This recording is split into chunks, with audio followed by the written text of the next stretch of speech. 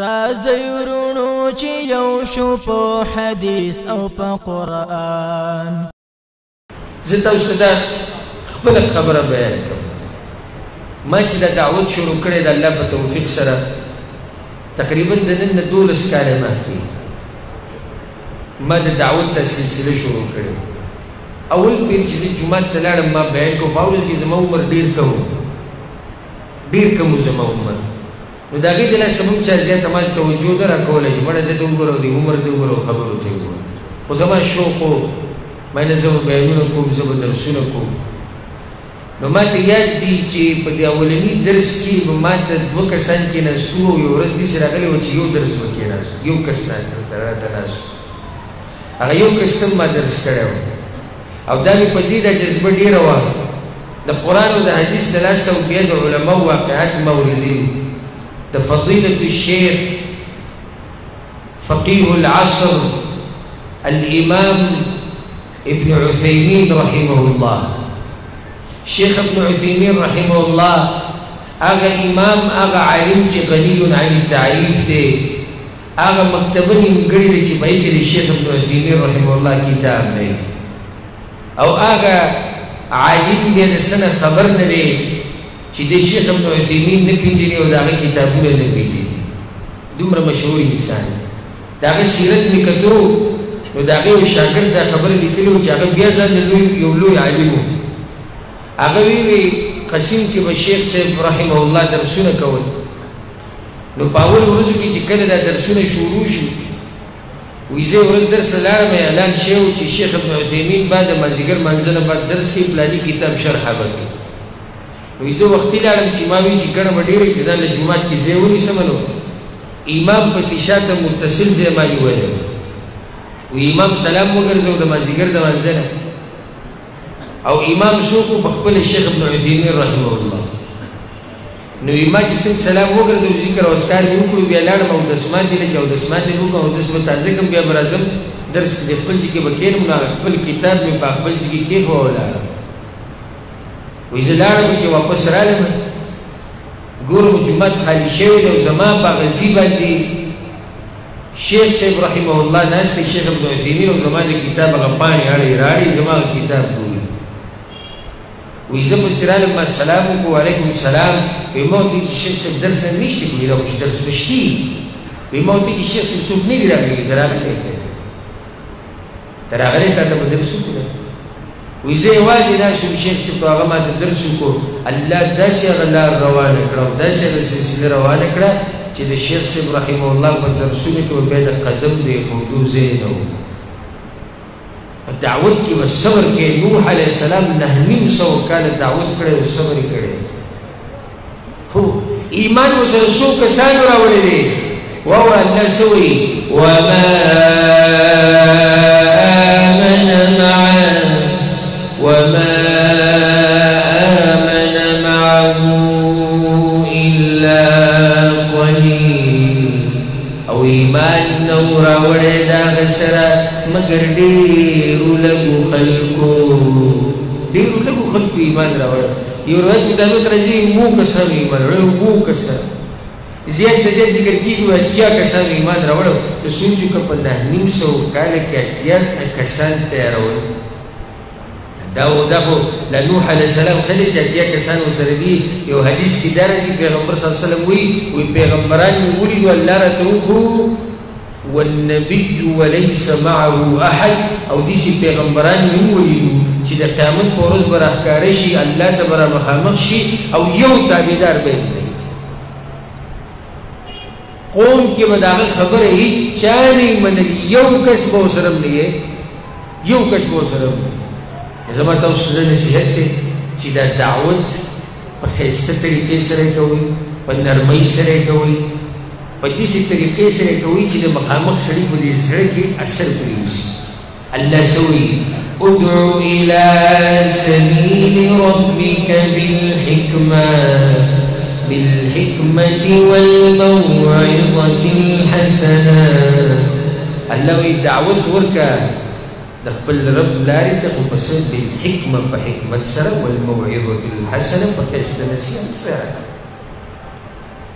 یو واقعه به ته ذکر کوم یا دوه د پیغمبر صلی الله علیه وسلم د ژوند نه چې هغه څنګه دعوت ورکړ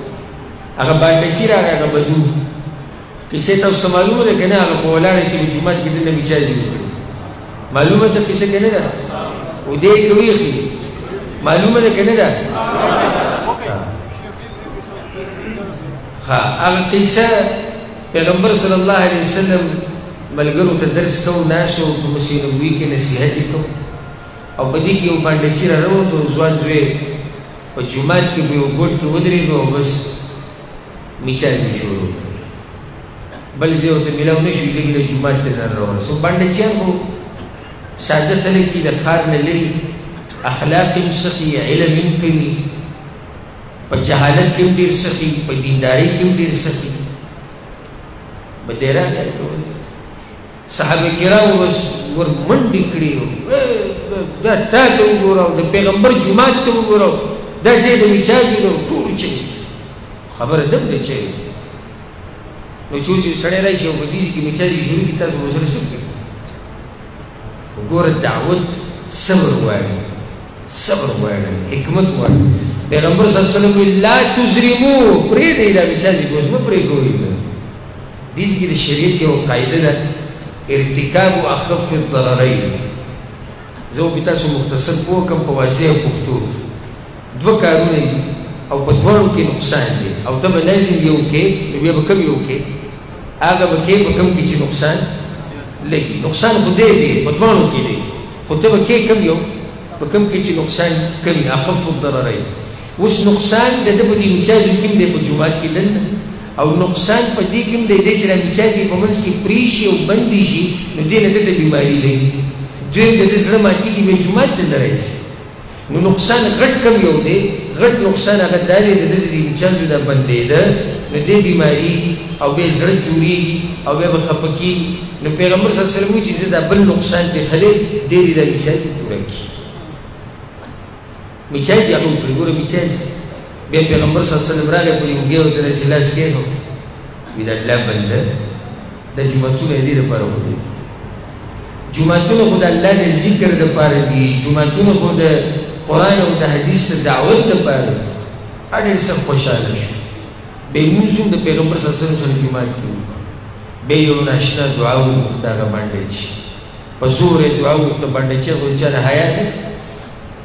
وی اللهم ارحمني ومحمد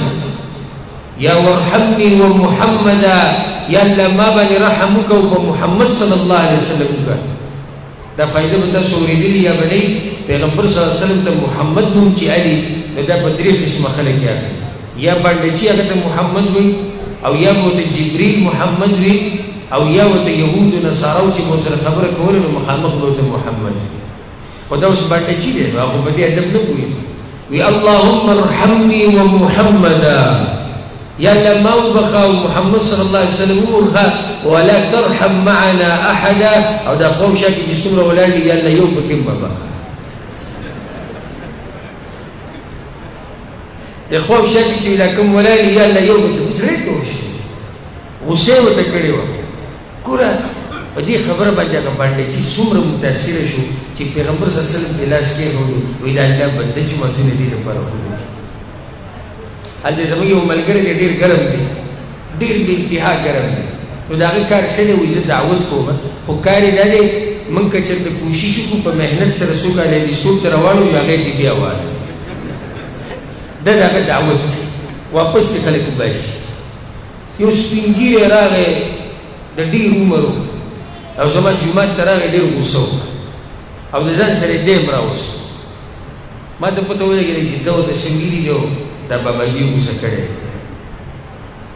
راغی ما ته وویل ته به فیصله وکړي زموږ دواړو ما سیده زه درله کوم خو مسله څه ده وی د سره ما د تعویزونو خبره شروع کړه یعنی دا بابا د دې قایلو چې تعویزونه په شریعت کې شتي مې ته څه وې؟ وې ده وې چې تعویذونه نشته دي. وې ما ورته وې چې هلته خو پاکستان کې ډېر مولیان دا خبره کوي. نو مې دې کې د جنګ څه دی چې تا دې ما پسې راوستو؟ وې ده ماته وې چې دغه مولیان چې ټول یوې ستنې ته وتړي که نه او کلاشینکوف ورته ونیسي. دا وې د دوی علاج. نو ما هغه سپین ږیري په مخ کې خپل ملګري ته خبرې سناوه. ما دا خو د اسلام طریقه نه ده چی تا هغه مولیان را جمع کړی او ویې ویل او نه دا د دعوت طریقه ده دا کومه خبره چی تا کړی دا خو تا ظلم او زیاتی کړی ده دا خو تا بد اخلاقی کړی ده دا خو تا بدتمیزی کړی ده زه ورته بدتمیزی وایم بیا مې هغه باباجي سي جدا کو ځان سره مې روان کو ډېر خوشحاله شو په دې خبره باندې چې د زما د خبرې حمایت کو بیا مې ورته وویل ګوره باباجي الله شتي که نشتي نو او شتي مي ژوندی دی که نه دی وي او ژوندی دی نو مي هغه دا هر څه نشي کولی وي ولي نشي کولی نو مي چې هغه کولی شي نو تعویز ته څه ضرورت دی وي دا خبره یې صحیح ده چې الله ژوندی دی او په هر څه قادر دی او زمان په دې ایمان دی او هر څه کولی شي نو زه څه لپاره تعویزونه پورې کړی د هرې خبرې او طریقې د ملګرو ځوانانو خصوصا سختی مکوي د نرمۍ نه کار اخلي ښکلی دعوت چلوي د متاستورو ته دا نصیحت دی چې عبادتونو له زور ورکوي خپل لمونځونه په ټیم کوي د جمع سره کوي د قرآن تلاوت ډېر زیات کوي ورب الکعبه چې څومره د قرآن تلاوت ډېر کوي دومره به د الله د ژوند ښایسته کوي که دومره به درته دا مشکلات اسان وي، دا ګورې د تجربې خبره ښه د تجربې دا د زر تجربې او یقیني خبره کوم چې کله دې د قرآن تلاوت وکړو او بیا یو ځي ته لاړې او هلته ستا سره مسله یو څه مشکل الله به درته دا مسله حل کوي په دې قرآن کې الله ډېر زور اچولی ډېر زور دی د الله په دې کتاب کې مبارک کتاب دی د برکتونو نه ډک کتاب دی کور به دی برکتی بچی به دی برکتی مال به دی برکتی تجارت به دی برکتی عمل به دی برکتی وینا به دی برکتی ولی ځکه چې الله په قران کې سوی کتاب انزلناه مبارک کتاب انزلناه مبارک الله دې برکتونه والي هنو چا چې بیا د دې مبارک کتاب سره رابطه جوړه کړه هغه برکتي شي هغه هم الله برکت ورکړي نو ما تاسو ته نصیحت دی سحر ما خان د قرآن او د قرآن تلاوت کوئ ترجمه یې زده کوئ تفسیر یې اورئ د آخرت دپاره څه وکړئ د هغه ورځې دپاره څه وکړئ چې پنځوس زره کاله ورځ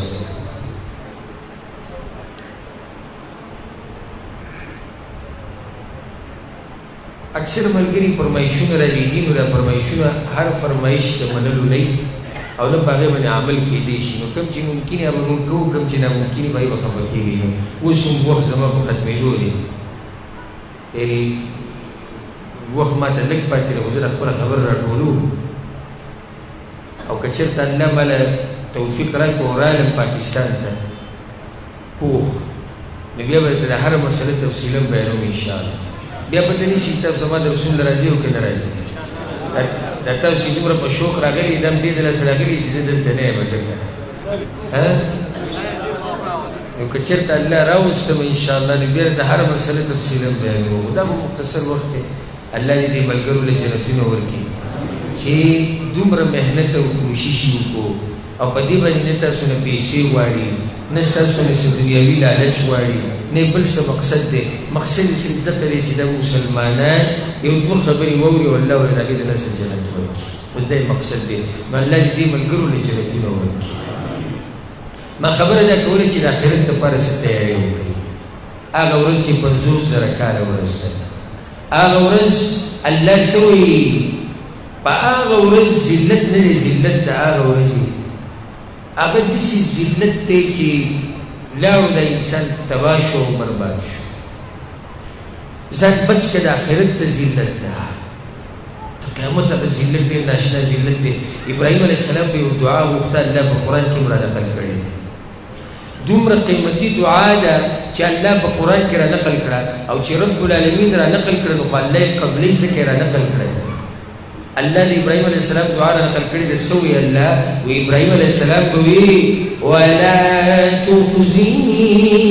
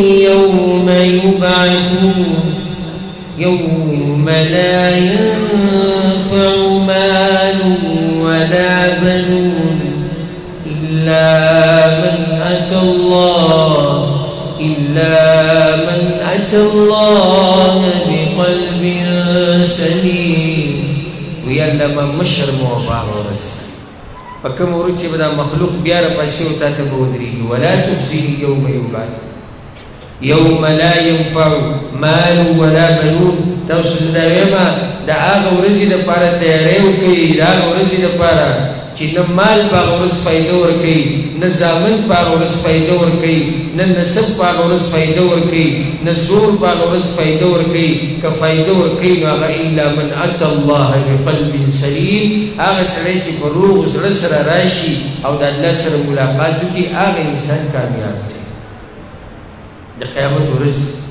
هغه د اشنا ورځ چې موږ ټول به الله ته مخامخ کېږو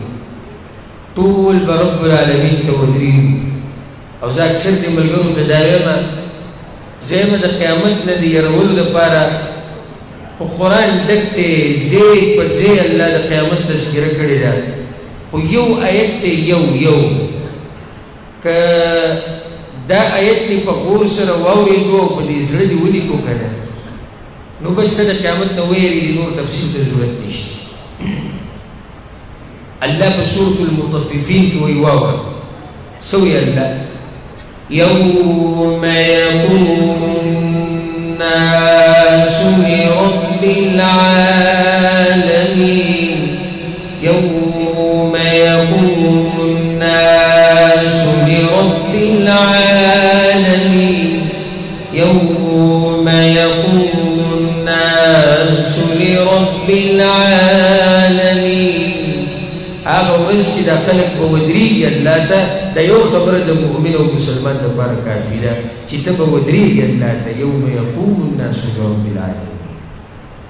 به تر څه پاوله کیوی او بیا به تپوس کیږی او او بیا عمل نامی دی او بیا حساب کتاب دی او بیا یا په خی لاس عمل نامه ده او یا په کس لاس ده الله اعلم چی زما او ستا به څه حال وی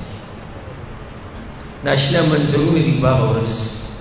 ناشنا احوال او احوال دی ناشنا سختی او ناشنا مصیبتونه دی صرف دی یو منظر ته وګوره زه درته بیانومه لکه که د قیامت موضوع دې ماله راکړه دا اوږده موضوع ده په دې خو په هفتو بیانونه کوو نه ختمېږي خو صرف یو منظر ته بیانومه چې دا خو تاسې رعایت کړئ چې په دې وخت کې به دې څه حال الله د عملنامو د تقسیم خبره کوي په سورة الحاقه کې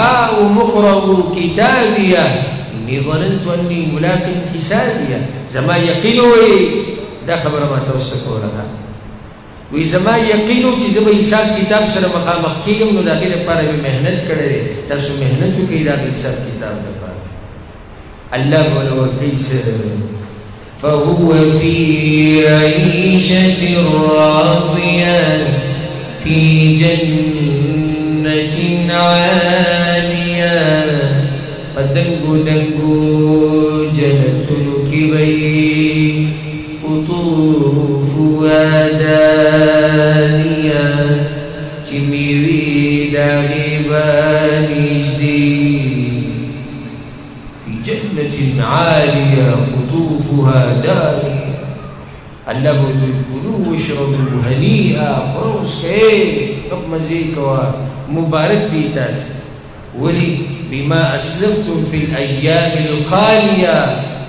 د دې هغه اعمالو د لاسه کوم چې تا په تېر شوو ورځو کې کړي دي الله به ورته وکړي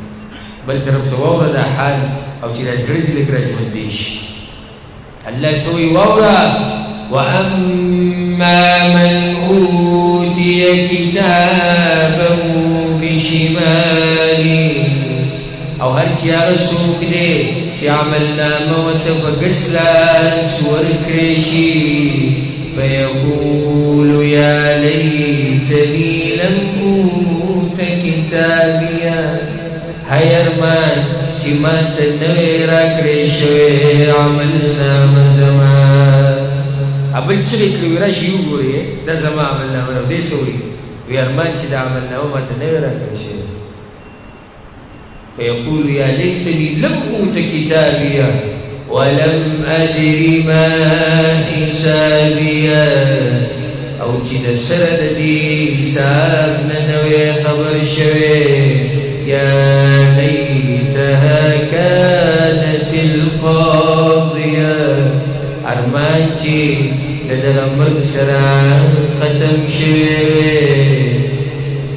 ما اغنا عني ماليه مال فائده را نکړه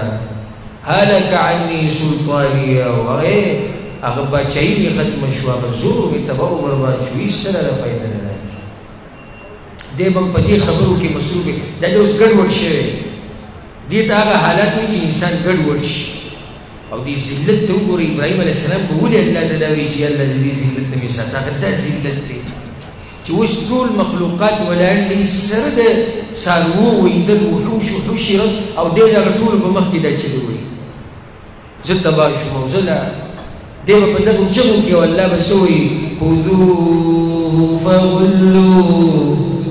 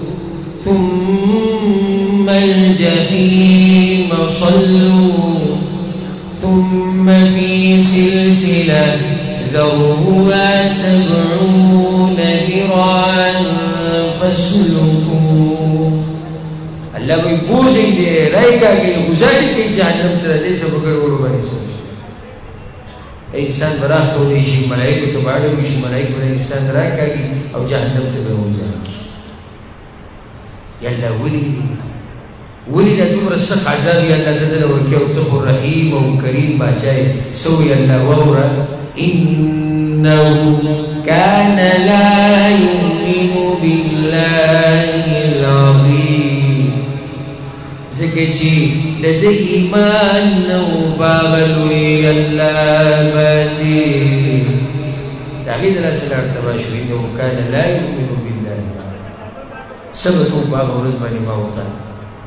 څه به کوو په هغه ورځ زما او ستا به څه حال وي زه تاسو ته یو بل منظر پېښ کوم الله به په خپل حساب کتاب نه راځي په خپله به الله حساب کتاب نه راځي الله سوي وجاء ربك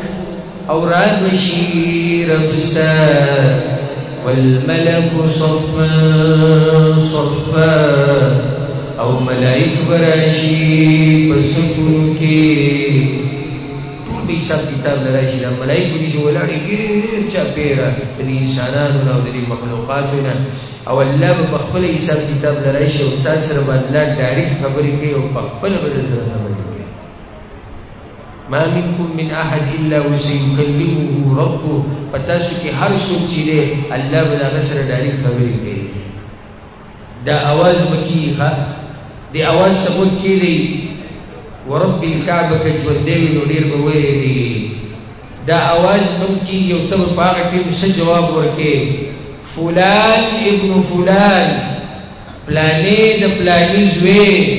یستعد للوقوف بین یدی الله ځان دې تیار کړي نمبر راغلی د الله مونږ سره مخامخ دي شي ته به څه وایې په هغه ټایم کې چې کله دا اواز وشي او تا یاد کړي تا چې پلانې د پلاني زوی الله وایي د ده نمبر دې را مخامخ کړي څه جواب به ورکړې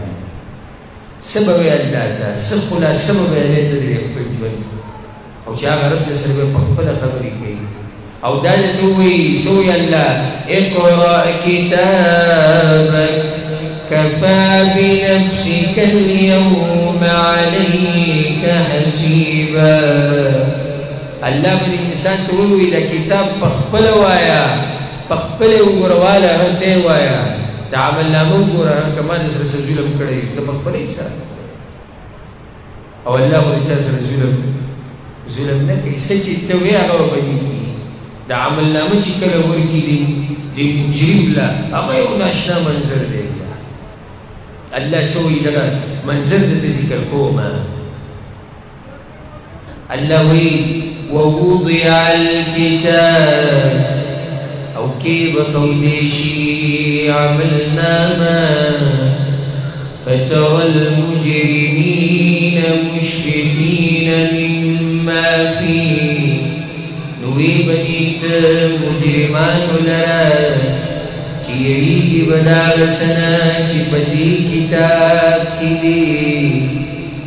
یری به دې سره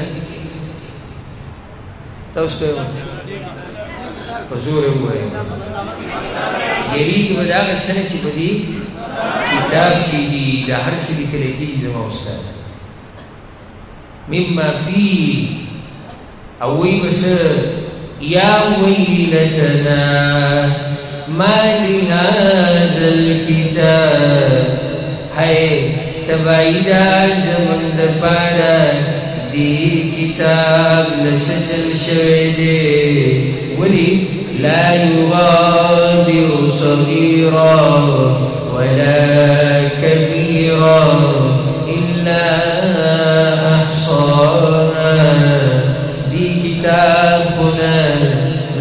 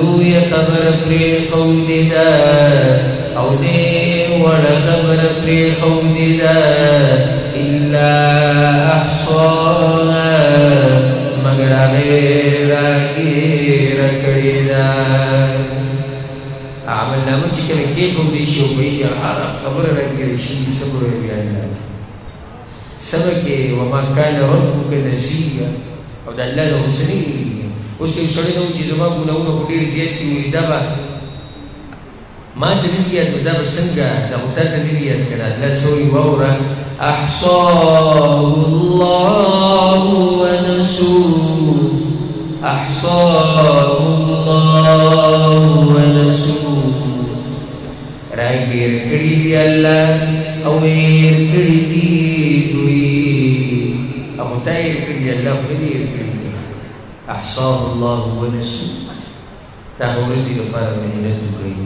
کوشش وکړئ دلته زموږ خویندې هم راغلي دي میندې هم راغلي دي هغوی ته هم زما دا نصیحت دی د زړه د کومې نه چې ای قدرمنو او ای عزتمنو خویندو او میندو تاسو ته ویب د الله نه ویریږي خپل عقیده برابر کړئ قران او حدیث باندې عمل کوئ د خپل خاوندانو حق پیژنئ وایي دا خاوندان د دوی په باره کې پیغمبر صلی الله علیه وسلم وایي وایي که د الله نه علاوه چا ته سجده جایز وي نو ما به ښځو ته ویلی وی چې خاوندانو ته دې سجدې لګوي وایي ما به ښځو ته ویلی وی چې خاوندانو ته دې سجدې لګوي د دې خاوندانو ډېر قدر کوئ، ها، ډېر قدر یې کوئ، دوی سره په دې ژوند تېرولو کې صبر کوئ، الله به درنه اجر درکړي. حدیث کې راځي، والمرأة راعیة فی بیت زوجها، او ښځه د خاوند د کور ذمه واره ده، د خاوند د کور به ترې تپوس کېږي د قیامت په ورځ، د خاوند د بچو به ترې تپوس کېږي د قیامت په ورځ. د خاوند د مال به دې تپوس کېږي د قیامت په ورځ د خپلو خاوندانو دا مالونه په پالتو کپړو باندې په سرو زرو باندې او په خادیانو باندې او په نو نو فیشنونو ډیزینونو باندې د خپلو خاوندانو د مالونو مه بربادوه خپلو خاوندانو که د تقار شي غوسه شي نو جواب ولا مه ورکوئ که چېرته ستړی راشي نو د کور مسلې ورته مه بیانوئ اچ زموږ په دې پښتنو ښځو کې دا ډېره ګټه بیماري ده چې کور ته راننوځي نو بل دې به یو لیست تیار کړی ته به ستړی راشي ستړی چې یاله چېرته پرېوتې چېرته دمه شوي هغه ته هغه یو نه جوړ دی هغه بل دی چې دغه پلان پامپري راوړه هغه بل دی چې دوایي راوړه او هغه بل چې دی پرون نه تبي نیولی هغه بل وي چې سکول کتابونه راوال نو ته به وایي چې یاله دې کور ته د سره راتلی دا هغه سادګانې ښځې دي کنه خاوند ته یې ووایلې خاوند ته د خدمت خو په یو مناسب طریقه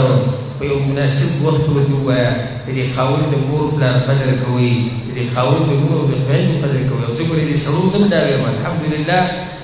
زه زما بیانونه واورئ ما ګورې په خپلو بیانونو کې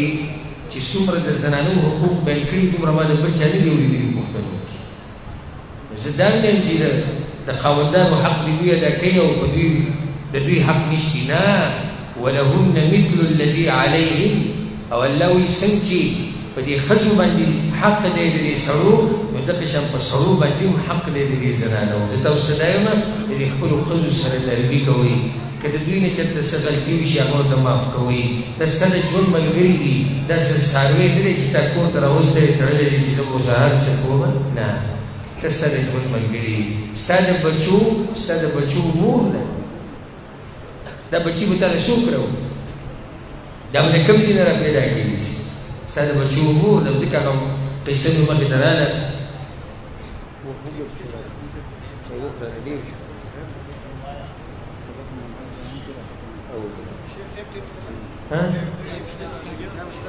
خیو قصه به دا بیان کو چې عمر بن خطاب رضی الله عنه په دور خلافت کې چې کله یو کس په هغه پسې شکایت لراتو او شکایت یې دا راوړی چې زما ښځې په ما باندې اواز اوچت کړی وي چې کله هغه کور ته راورسېد د امیر المؤمنین نو بس وري ټکو د دني نه چغي واوريدي چي د هغه ښځي په هغه باندي چغي واوري د هغه واپس سره روان شو چي ده دا حل دی نو خو لا بيا ښه وي نو هغه وليدو اواز يې ورته وکړو راويې غوښتو بيا يې ورته وويل وي ګوره دا ښځي زموږ د بچو ميندي دي دوی زمونږ خدمت کوي، مونږ له ډوډۍ تیاروي، مونږ له جامې تیاروي، صبر کوه د دوی سره. نو زه تاسو ټولو ته وایم چې صبر کوئ د دې ښځو سره، الله سبحانه وتعالی دې مونږ له توفیق راکړي چې د دې ښځو په غلطیانو باندې صبر وکړو. قرآن او حدیث. تاسو ټولو ته د قرآن او حدیث تعلیمات یې زده کړئ. تاسو ټولو ته دا وایو چې هغه عقیده یې زده کړئ چې هغه د سلف صالحینو وه، هغه د قرآن او حدیث عقیده ده. زمونږ د سلف صالحینو عقیده، د دین د مشرانو هغه عقیده یې زده کړئ. چې هغه د توحید عقیده وه، یک یوازې د الله بندګي او توحید په اتباع کې یک یوازې د پیغمبر صلی الله علیه وسلم تابعداري، د پیغمبر صلی الله علیه وسلم په مخ کې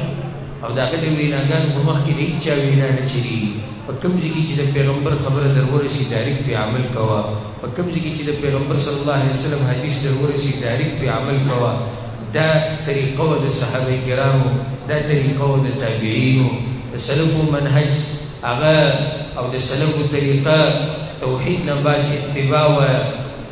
د سلفو طریقه دا وه، د دین د مشرانو طریقه دا وه چې کله به یوه مسئله ورته راله او چې کله به د علماوو اقوال رالو نو په دې اقوالو کې به یې دا کتو چې د چا سره دلیل دی چې بس د چا سره به دلیل وي هغه به یې منل. که د کوم امام سره به دليل و، د کوم صحابي سره به دليل و، به د هغه خبره به ومنله او د چا سره چې به دليل نه و، د احترام او د قدر سره به د هغه خبره پرېښوده. دا طريقه يې زده کړئ، چې د چا خبره هم راورسي، نو دليل ته ګورئ، که دليل ورسره وي، منئ يې، که دليل نه وي، نو پرېږدئ او بې ادبي او ګستاخي به يې نه کوئ. د سلفو دا طريقه وه، چې هغوی به مسلمانان نه يرول، د سلفو دا طريقه وه، چې هغوی به